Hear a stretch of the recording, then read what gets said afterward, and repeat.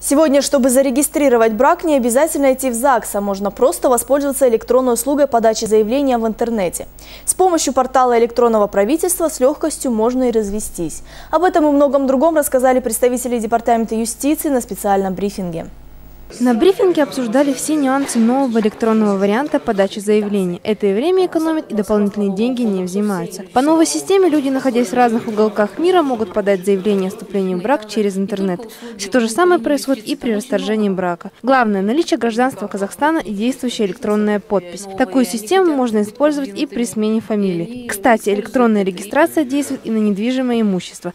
Можно не стоять в очереди в ЦОН, а оформлять все и сразу у нотариуса. При этом за ускоренную регистрацию оплата не взимается, а исчисляется как за обычную. 17 апреля 2013 года вступили в законную силу э, приказ министра юстиции об утверждении инструкции по государственной регистрации юрлиц, и э, юридических лиц и учету регистрации их филиалов и представительств.